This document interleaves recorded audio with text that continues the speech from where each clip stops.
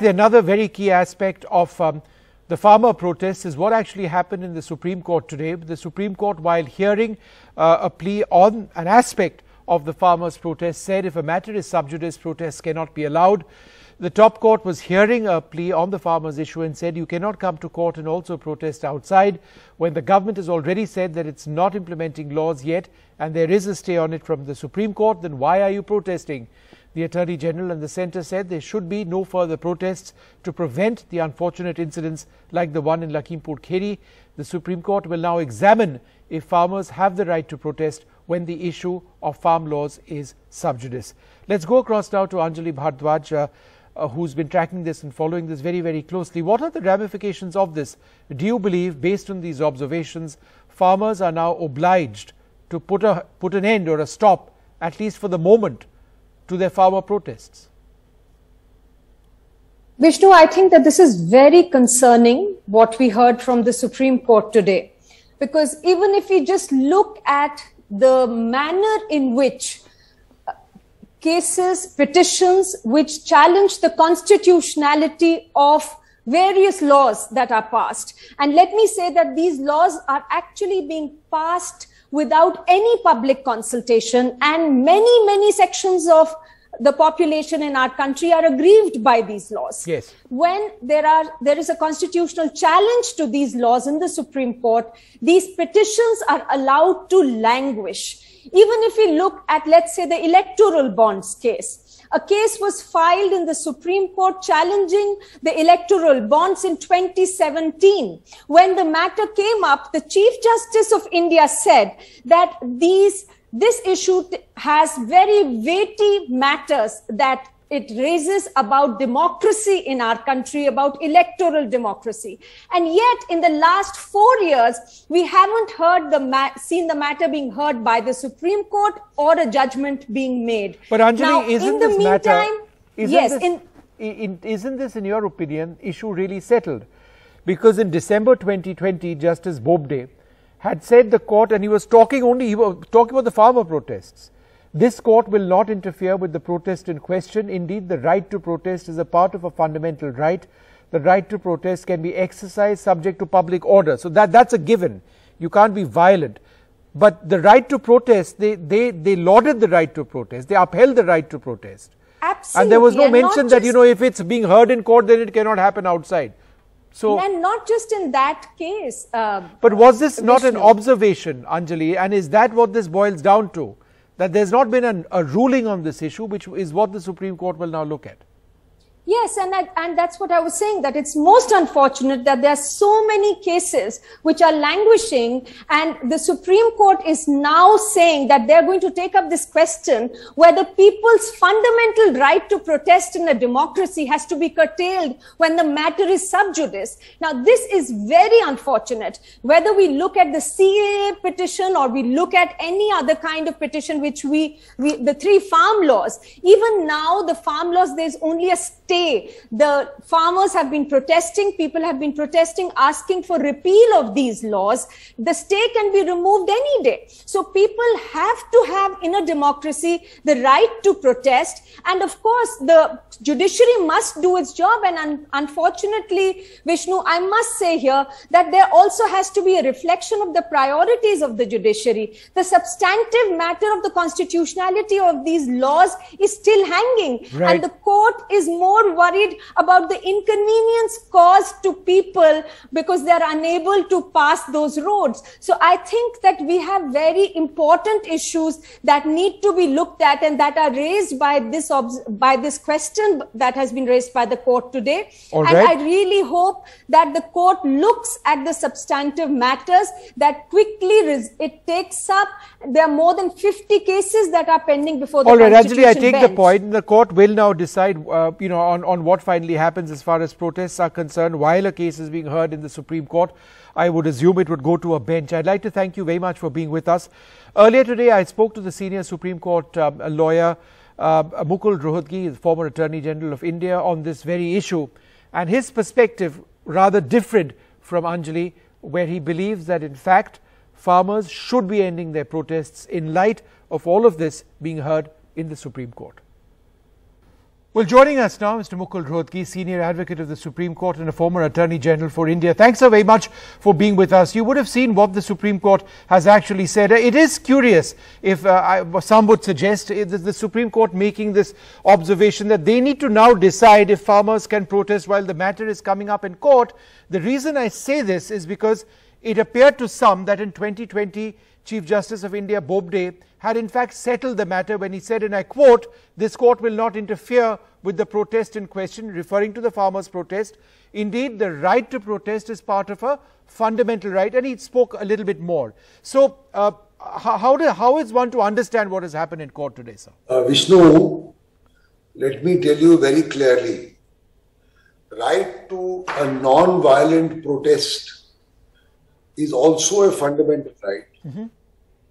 But moving a court is also a fundamental right. So you cannot ride two horses together.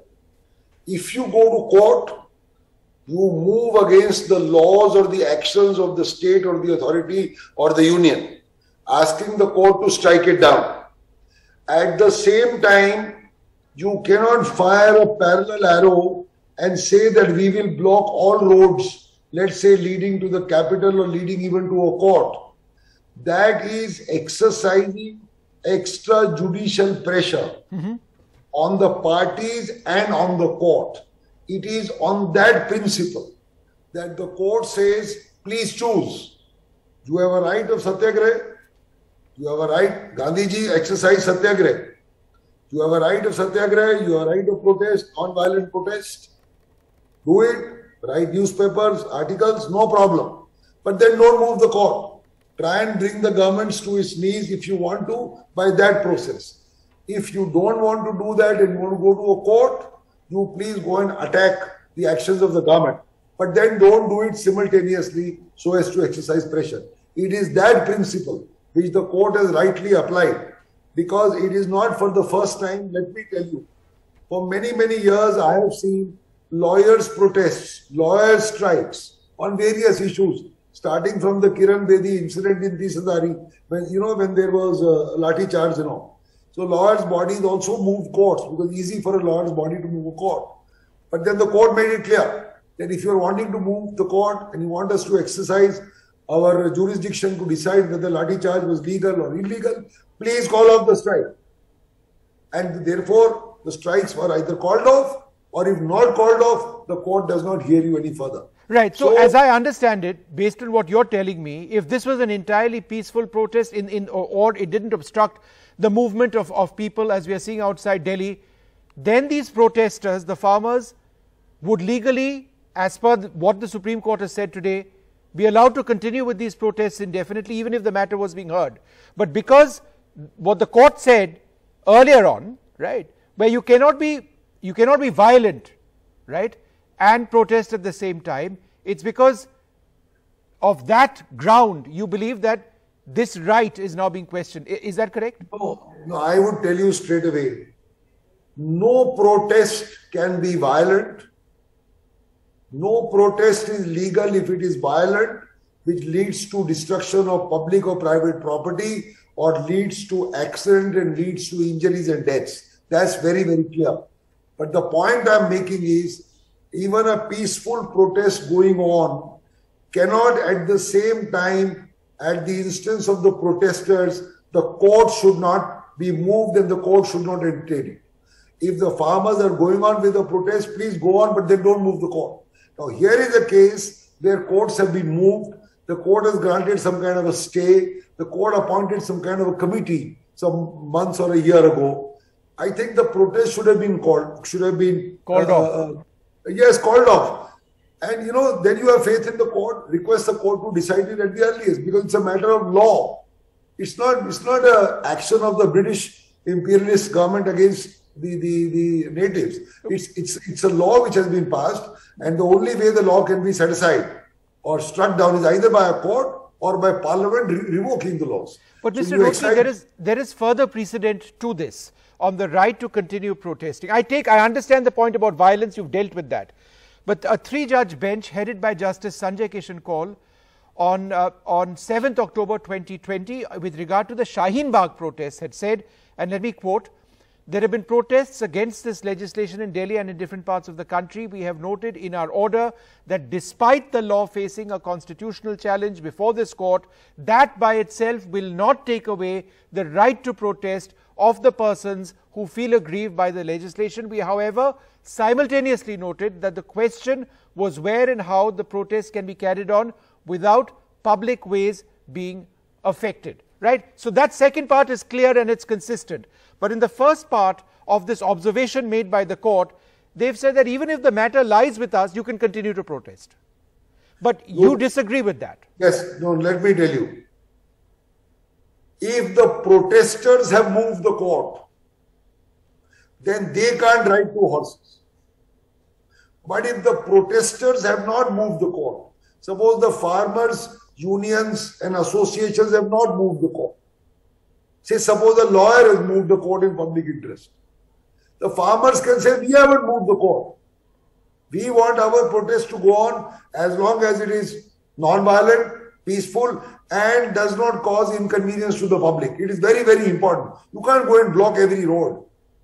So, okay. if, if you have if you have moved the court or your association has moved the court, then you cannot carry on a parallel protest. You choose. Okay. But if somebody else has moved, then the protesters can say, but we have not taken recourse to a parallel uh, uh, path, okay. and therefore the protest. I think so, that's the only way so to reconcile. Now, but this is the final word, Vishnu, will be with the court. But I firmly believe that by carrying on a protest, even if peaceful, and at the same time moving a court, you are exercising pressure on the court, on the other party, that we are going to do this also, that also, social media also, Twitter also, that squares the pitch, so to say. All right, Mukul Rohatgi speaking to me earlier on on the day. This also uh, moves to the Supreme Court now, just in terms of the right to protest. But what actually happens on the ground, and what about the right of political leaders to actually travel to areas where these protests have taken place? We'll be tracking that very closely tomorrow.